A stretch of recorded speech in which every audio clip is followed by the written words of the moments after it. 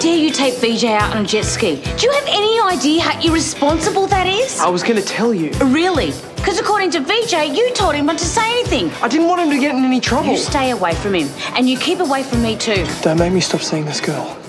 I really like her. You're no good with girls. No good with anyone, really, are you? It's all right, the wee error of judgment. Oh, do you think you I, I, okay I with just turned the doing? water off. Oh, John! John! John, you hit your head, so we've got to go and get it checked out. A little bit of shut eye. I'll be fine. We're going to the hospital. No arguments. Is that right? Mm. I think I'm pregnant. Can you say something?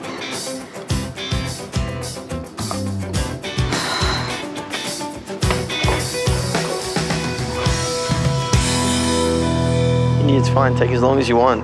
Yeah, your assignment's important. Hey, can I call you back? Yeah, I love you too. Okay, bye. Sash home? Yeah, now's not a great time. Yeah, it's all right. I need to talk to her. Sash? Go away, Casey! Sash, we need to talk. So now you want to talk?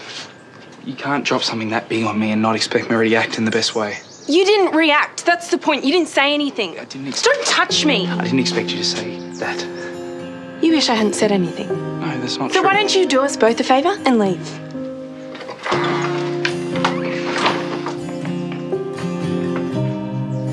No, what's he done that's so terrible? You're not paying attention out there. I don't want to talk about it. And if you are thinking of taking his side out of some bro code, don't. I know his life might be a mess, but he said he cared about me, and that's why I told him. Told him what? Something personal. Something that I thought he was ready to hear, but obviously not. Well, actually, I, I think he does want to hear it because he's, he's outside waiting.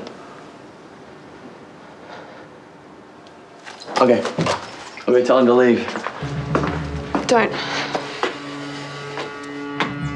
So you do want to talk to him?